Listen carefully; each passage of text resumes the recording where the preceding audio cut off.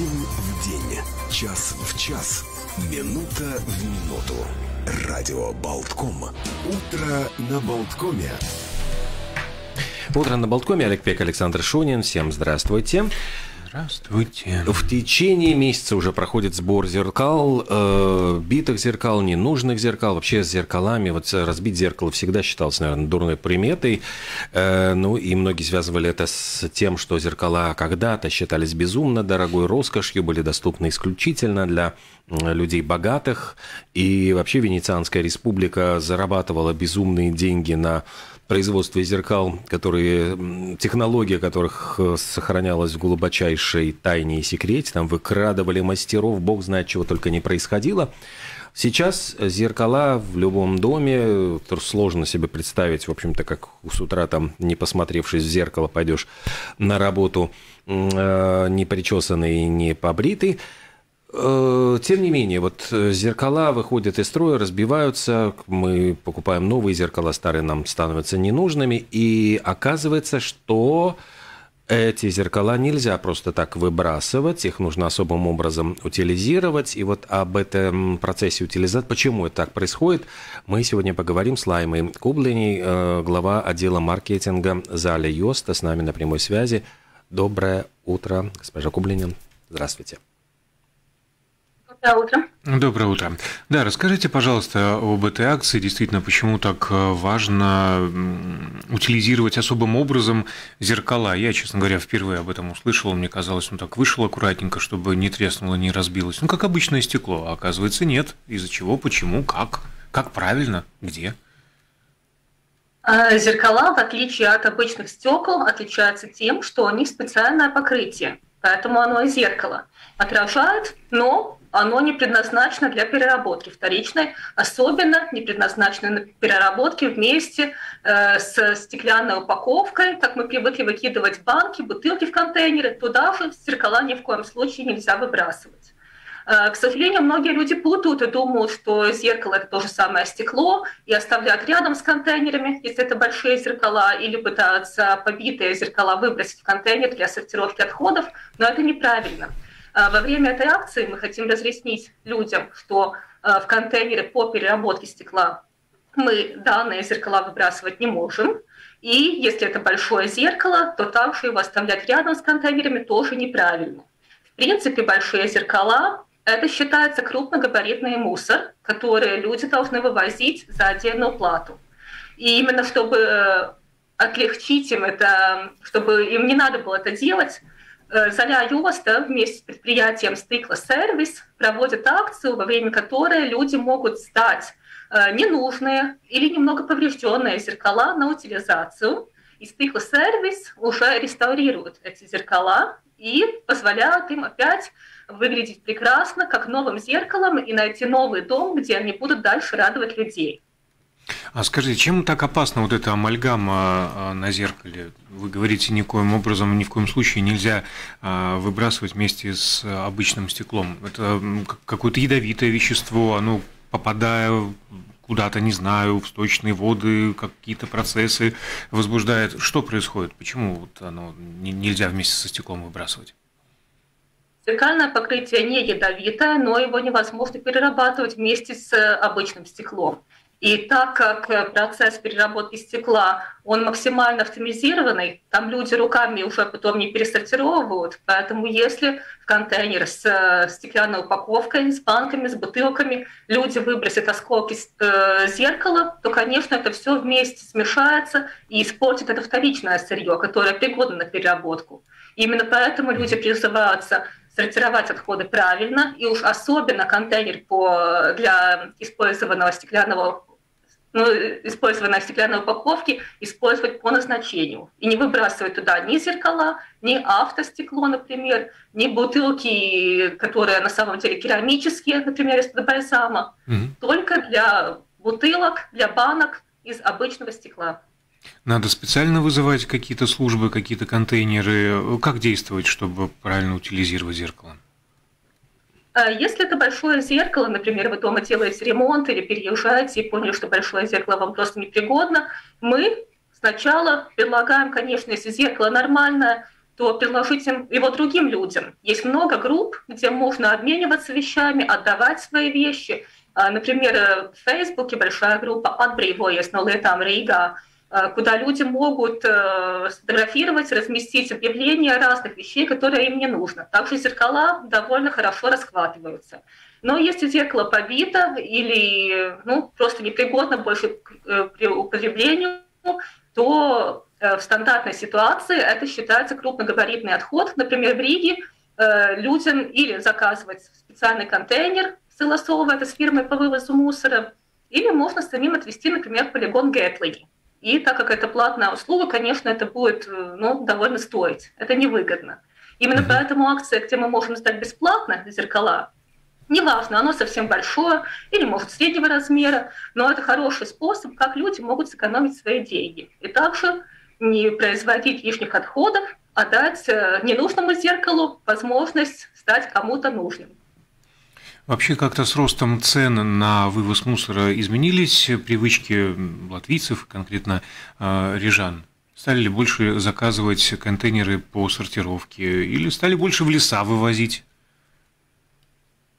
Э, люди с каждым годом все лучше и лучше понимают смысл сортировки отходов. Конечно, повышение цен по захоронению мусора – хороший стимул людям думать дважды и искать способы, как сэкономить деньги. Сортировка отходов – это один из тех, потому что правильно сортированные отходы, вторичное сырье вывозится бесплатно. Использованная упаковка, также стеклянная тара вывозится бесплатно, если люди этими контейнерами пользуются правильно – Э, спрос э, на сортировочные контейнеры, конечно, растет с каждым годом. И бывают ситуации, что предприятия, которые размещают эти контейнеры, должны не справляться с спросом, просто не хватает контейнеров. И это очень хороший, э, хороший аргумент, что люди хотят не только заботиться о природе, но и, конечно, о своем кошельке.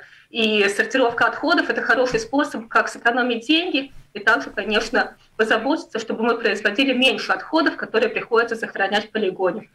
Лайма Кублиня, глава отдела маркетинга Заля Йоста, с нами на прямой связи. Телефон 67212 93 Здравствуйте. Здравствуйте. Доброе утро. Это Слушаем вас. Как не вопрос, даже, может, предложение. То есть люди, состояние у всех, скажем, там, финансово хорошее, делают какой-то ремонт или просто выкидывают старую вещь. Заказывают сейчас контейнеры, то, по-моему, стоит от 150 до 300 евро, в зависимости от объема этого контейнера. Плюс его не всегда можно разместить. В некоторых домах очень маленькие территории, где это можно поставить. Человек там выкидывает диван или шкаф, я понимаю, что все равно едут, собирают в течение какого-то времени, но если у человека есть машина, по тоже довольно далеко вести, плюс там не знаю, какой порядок приема.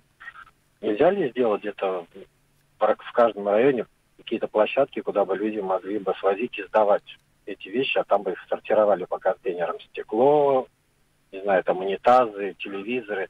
А то это все валяется возле подъездов у всех.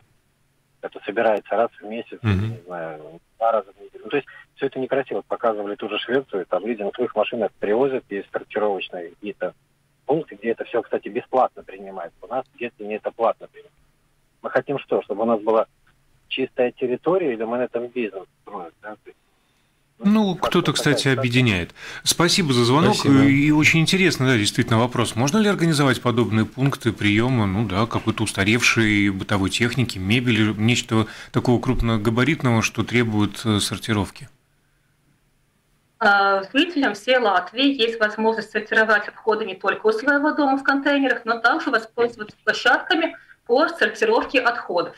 Они размещены по всей Латвии, во всех э, городах такие имеются. Себе ближайшую можно найти, посетя сайт открытыми.лв. Там в э, формате карты можно посмотреть, который ближайший к вашему месту жительства.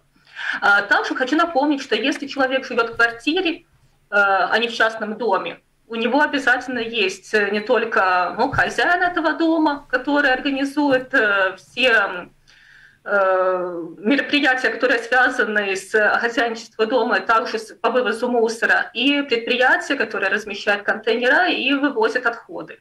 Э, если происходит ремонт в квартире или смена интерьера, нужно связаться с хозяином дома или напрямую с, с предприятием, которое вывозит отходы, скорее всего, что в вашем контракте по вывозу мусора уже имеется пункт, где указано, в какую дату, раз в месяц, может быть, или чаще, или реже, э, предназначена конкретная дата, когда вывозится также крупногабаритный мусор.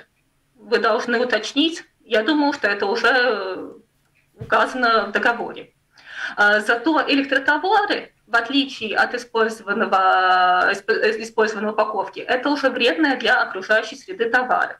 Их в любом случае нужно сортировать и или вывозить самим, или заказывать предприятию вывоз электротоваров на переработку. Также на сайте открытыми.лв можете посмотреть, куда вы можете отвезти полностью бесплатные электротовары, или если у вас большое количество, например, вы переезжаете, у вас много ненужной техники, которую вы хотите ставить на переработку, можно связаться с многими предприятиями, которые вывозят за бесплатно эту электротехнику. Например, О, да, э, предприятие БАО тоже вам вывезет бесплатно, главное заказать вывоз. Я вот как раз сейчас на, на вашем сайте нахожусь, и как раз-таки, да, электротовары, очень много точек, куда их можно вывести. Ближайшее от радио где-то вот в районе Нью-Ханза-Сити. У нас да, еще, еще один звонок. звонок. Да, здравствуйте. Доброе утро. Доброе утро. Вот сколько лет уже говорим о сортировке мусора, и все время от времени появляется что-то новое. Ну, первый раз действительно слышим, что зеркало это нельзя, это не стекло, нельзя бросать были там информация, да, в общем, сортировать стекло там так и так. Почему подробнее нельзя где-то хотя бы написать, вот что нельзя бросать, откуда люди могут знать. Сейчас mm-hmm. вот так действительно с воздуха что-то что новое. И так все время, и так испортит весь контейнер, и никакой сортировки у нас не будет. Спасибо. Спасибо, спасибо. Вот поэтому мы периодически на Балкоме возвращаемся к теме сортировки, между прочим, потому что вы исключительно правы. Каждый раз появляются какие-то новые вводные нюансы, абсолютно искренне честно. Я до вчерашнего дня сам не Я знал про, про, про зеркало. Как только узнали, смотрите, сразу у нас появился специалист в эфире, который квалифицированно объясняет. Лайма, ответьте пожалуйста, тем не менее, вы тоже, а, наши слушательницы, как так действительно, неужели нельзя сразу в одном месте написать подробную инструкцию про ну, большинство, скажем так, э, каких-то вот этих вот... Э, что можно, что нельзя. Да. да. Да, я сама согласна, что информация бывает разная, и иногда люди не знают даже, где найти правильную информацию, как правильно сортировать отходы. А, мы сами сталкивались с этой ситуацией, что люди не до конца уверены, правильно ли они сортируют отходы. Значит, во-первых, сначала самый легкий способ, как уточнить, что мы можем и что мы не можем сортировать, это связаться с тем оператором, который у вас вывозит отходы, сортированные отходы. Например, я просто когда, например, в Риге Cleaner предприятие вывозит контейнеры с обычным мусором и сортированным. Если у вас вопросы, свяжитесь конкретно с ним, если вы знаете, что они у вас вывозят, и они вам разъяснят, что можно и что нельзя. Но главное, что нужно запомнить, контейнеры, которые у дома размещены для сортировки отходов. Желтый контейнер для легкой упаковки. Туда мы выбрасываем чистую, без содержания пищевых отходов, без каких-то примесей, без остатков еды. Чистую, максимально сплющенную упаковку пластмассу, бумага, картон, металл. Все. В контейнер для стекла выбрасываем также чистую, без остатков еды, упаковку из стекла. Банки, бутылки разного цвета, разного размера. Все. На самом деле это очень легко, остальное это уже маленькие нюансы. Э, и именно поэтому нужно запомнить, что в контейнер, например, для стекла, мы не выбрасываем никакие стеклянные товары. Зеркало – это не упаковка, значит, туда мы его не помещаем. Оконное стекло – это тоже не упаковка, туда мы тоже не помещаем. Ни оконное стекло, ни вазы, ни стеклянные фигурки, вазочки, э, стеклянную посуду также мы туда не помещаем, а, только так, так, банки так, так, и бутылки. Э, простите, вынужден вас прервать. Хорошо, но если у меня действительно разбилось оконное стекло, но это же стекло, и оно чистое достаточно, почему я не могу его в этот контейнер поместить? Потому что контейнеры, которые размещены как раз у вашего места жительства, у дома, у работы, они предназначены только для упаковки. Оконное стекло чистое можно перерабатывать, вы правы, и поэтому вы можете его за бесплатно вывести на сортировочную площадку, которую вот вы можете посмотреть, найти себе ближайшую на открытыми.лв.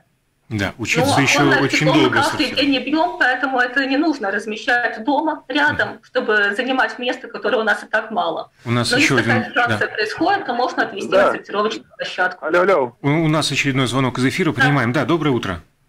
Да, доброе утро. Спасибо, что приняли звонок. Я религиозно за сортировку мусора, и мне нравится, как в Германии, там не просто бутылочное стекло, а белое стекло, желтое, зеленое, прямо по маркам пиваса. Вот. У меня есть одно подозрение относительно латвийской сортировки стекла.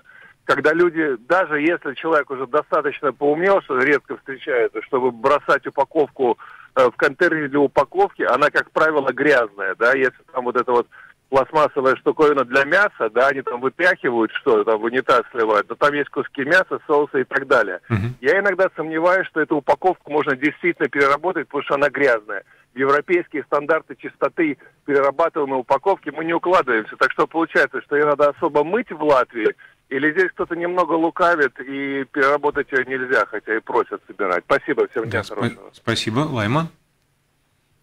А, да, это большая проблема наших жителей, что они считают, что это контейнер для, для вторичного сырья, которое чистое, не пахнет, не, не пачкает ничего, а контейнер, куда мы можем быстренько, бесплатно избавиться от всего, что как бы можно переработать. Во-первых, да, это неправильное использование этих контейнеров.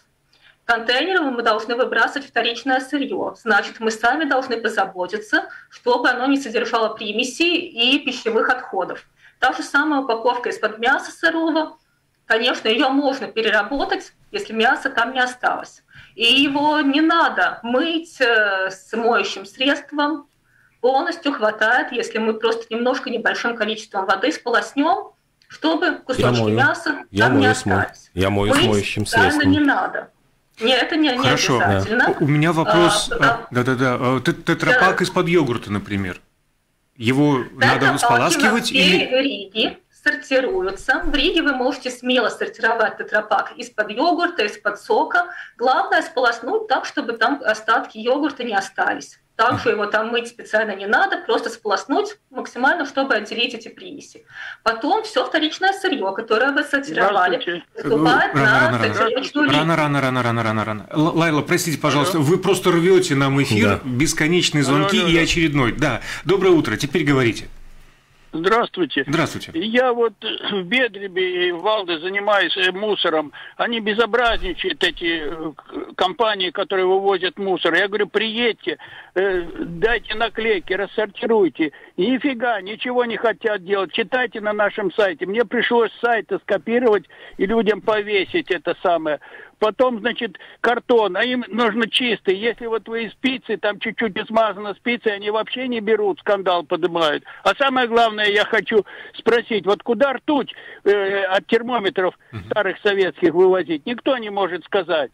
Куда мне выбрасывать? В реку, чтобы люди отравились или как? Ни в коем случае. Спасибо за вопрос. Да, а, Лайма, начнем с, э, с ртути, с градусников. Действительно, медицинские отходы, в том числе градусники. Что с ними? Э, да, еще имеются разбитые градусники с ртутью, все же люди пользуются, поэтому если у вас разбился градусник, то все содержимое его, также само, само это стекло, ну, корпус градусника, помещаем в герметичную баночку, например, в пустую стеклянную баночку, закрываем крышку, и его можно сдать в аптеке. Очень mm. много аптек, которые принимают как использованные медикаменты, ненужные, старые, также и туда можно сдать этот побитый градусник. Главное, чтобы он был герметично закрыт. Теперь, что касается упаковки, ну вот э, прозвучал тетрапак, вы ответили, коробки от пиццы, оказывается, тоже не все принимают. Кто-то капризничает. Э, если коробка от пиццы будет более или менее чистая, то, конечно, ее можно перерабатывать. Если ситуация, что на крышке коробки от пиццы там весь сыр из-под пиццы остался, то, конечно, это уже грязная упаковка, ее нельзя перерабатывать. Э, я говорю, все зависит от нас самих, как мы подаем эту э, упаковку на переработку. Она чистая или грязная. И если у нас есть возможность отделить максимально все примеси, то мы можем ее сдать на переработку чистыми. Это уже наши интересы, чтобы сократить нашу же плату по вывозу мусора. Ну вот э, пришло сообщение, тоже пишет, что данные о виде собираемых отходов должны быть размещены на контейнерах. Ну, то есть, чтобы и для особо, вот, не знаю, непонятливых написать большими буквами «грязное» ни в коем случае не... Ну, обычно же там есть наклейки как раз с надписями, во-первых, что туда нужно бросать, и нередко сопровождается и рисунками. Ну, Там вот где-то бутылочка нарисована. Пришло, просят, просят все-таки еще вот написать, наклеить на каждый контейнер. А в Латвии у нас смена контейнеров, к сожалению, происходит довольно медленно, поэтому есть регионы, где все еще остаются старые контейнеры со старыми наклейками, или э, наклейки просто уже со временем отвалились, поэтому информации не хватает. Я согласна. Но постепенно все эти контейнеры меняются на чистые, новые, также размещается информация, что можно и что нельзя. Э, информация сопровождается пиктограммами, потому что, может, не все на государственном языке понимают, поэтому главное, да, информацию передать людям, которые этими контейнерами пользуются. Если сосед видит, что сосед делает что-то неправильно, подходим и дружественно рассказываем, потому что бывают ситуации, что не специально человек что-то неправильно делает, он просто не знает или не заметил.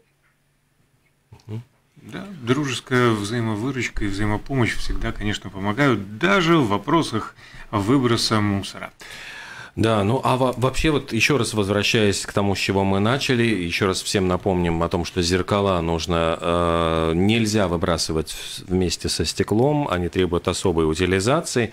А вообще сколько служат зеркала? То есть э, есть ли какой-то срок, по истечении которого нужно их э, уже убирать из дома? Но нет такого срока, конечно. Люди пользуются антикварными зеркалами и очень радуются, гордятся этим.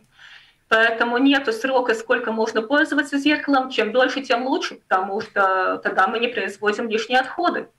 Может, я еще хочу напомнить, что вот как раз по утилизации зеркал информацию на сайте akritumi.lv вы не найдете, потому что это не вторичное сырье. Эта акция у нас проходит до конца апреля, и можно ненужные зеркала стать на утилизацию в двух адресах в Риге. В городе Рига на улице Тома 4 и на Бриана улице 10.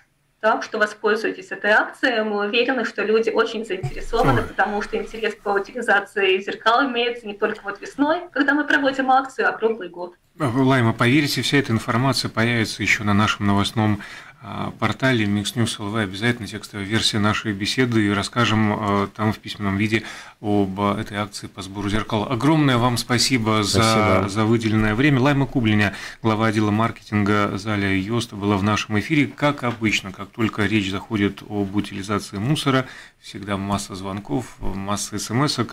Это интересно, ну, потому что, да, можно сказать, мы в начале большого пути, есть еще чему а, просят, учиться. Просят еще контейнеры с педалями, чтобы не, не пачкать руки, ну или если у людей руки заняты, чтобы удобнее было открывать. Ну, вот такие замечания еще пришли. Да. Лайма, а еще раз огромное спасибо. Что-то чувствую, мы не последний раз э, с вами общались. Тема действительно актуальная и популярная, нужная и важная. Хорошего дня, всего доброго. А, до свидания. Еще раз мы говорим о Лайме Кублине из Заля Йоста. И, по всей вероятности, прощаемся до следующего утра.